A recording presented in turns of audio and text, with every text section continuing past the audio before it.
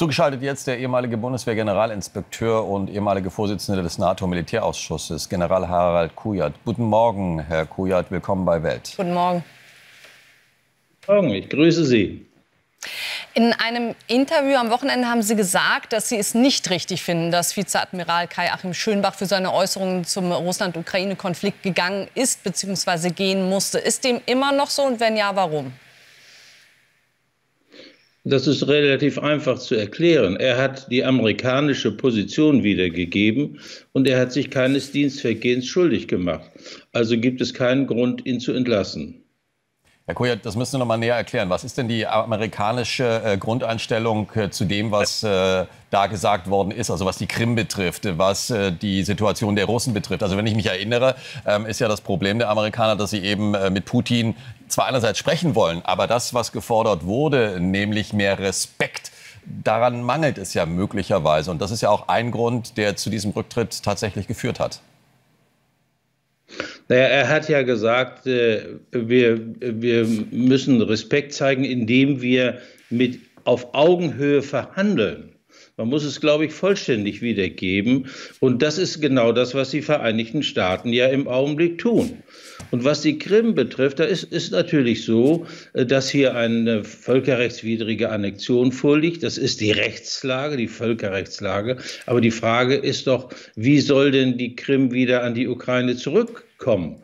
Und äh, das, das hat er verneint. Und ähm, das ist ja auch ganz offensichtlich, dass die Krim nur zur Ukraine zurückkehren kann, wenn es einen Krieg mit Russland gibt und wenn der Westen oder die Vereinigten Staaten diesen Krieg gewinnen. Aber die Vereinigten Staaten werden keinen Krieg mit der anderen nuklearstrategischen nu äh, nu äh, Nuklearmacht führen, Herr Präsident Biden hat das für, selbst für den Angriff auf eine Ukraine abgelehnt und er wird das schon erst recht nicht tun, um die Krim zurückzuholen. Aber Herr Kujat, Entschuldigung, bleibt, immer noch, bleibt, immer noch, die Haltung der Bundesregierung, die letztendlich genau dem äh, widersprochen hat in der Situation. Und wenn man bei einem guten Glas Wein möglicherweise seine persönliche Meinung kundtut und sagt, das ist jetzt aber meine, aber als offizieller Vertreter in dieser Position, da bleibt doch nicht mehr und nicht weniger als die Konsequenz Konsequenzen zu ziehen und seinen Hut zu nehmen? Nein, das bleibt überhaupt, diese Konsequenz bleibt überhaupt nicht. Hat, es wird auf der einen Seite gefordert, dass die Militärs auch ihre Meinung äußern und dazu stehen. Das hat er getan. Und er hat sich auch nicht gegen die Position der Bundesregierung gewendet.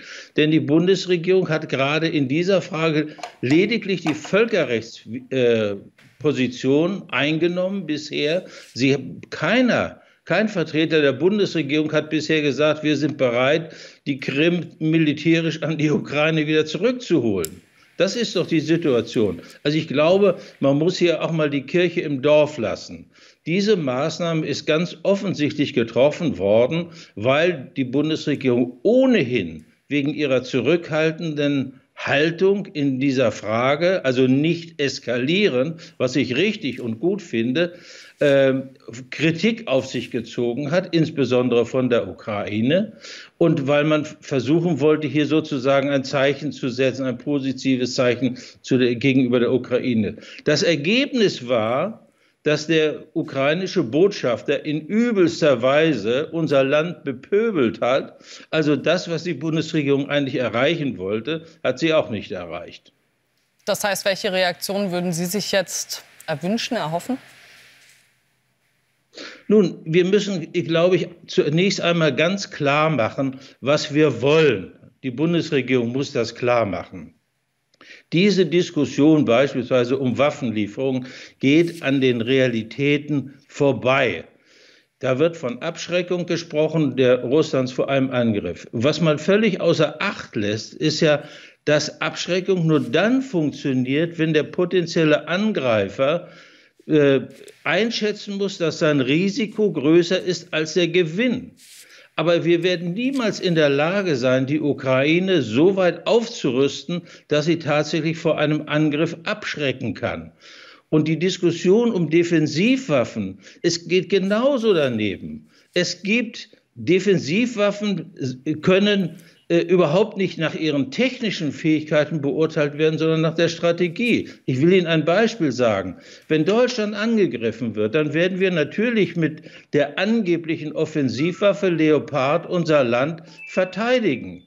Wenn wir aber, äh, wenn der Gegner, der das ja weiß, äh, dann äh, äh, Panzerabwehrwaffen einsetzt, äh, die ja angeblich Verteidigung, Defensivwaffen sind. Welches sind dann eigentlich die Offensivwaffen? Sind es die, die Panzerabwehrwaffen oder sind es die Leopardpanzer? Also diese Diskussion geht an den Realitäten vorbei. Das, das muss man sich wirklich klar machen.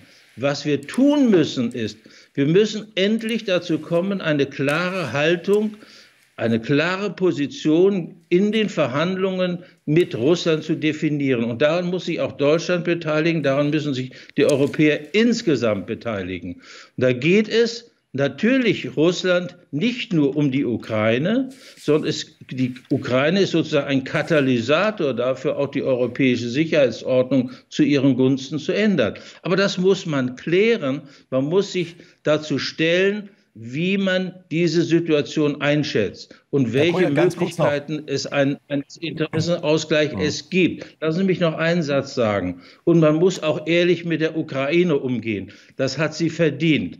Und man muss ihr ganz klar sagen, dass sie beispielsweise keine Aussicht auf eine Mitgliedschaft in der NATO hat. Und das bedeutet, dass die ganze Situation deutlich entspannt werden würde.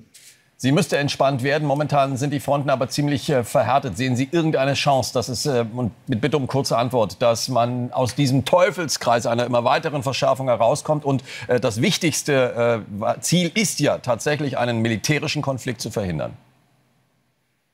Ja, auf, man kann einen militärischen Konflikt verhindern. Ich habe dazu auch ganz konkrete Vorschläge gemacht. Man kann einen Fahrplan für die Deeskalierung und schließlich für Vertrauensbildung bilden. Der Westen ist dazu in der Lage und er muss da dadurch seine eigene Sicherheit nicht aufs Spiel setzen, sondern er kann durchaus einen Interessenausgleich mit Russland anstreben, der unsere Sicherheit gewährleistet, aber gleichzeitig auch zu einem, zu einem Ergebnis führt, dass letztlich die Spannungen, die ja jetzt im Augenblick immer weiter aufgebaut werden, und zwar von beiden Seiten, dass diese Spannungen nicht zu dem führen, was wir alle nicht wollen, nämlich zu einem Krieg in Europa.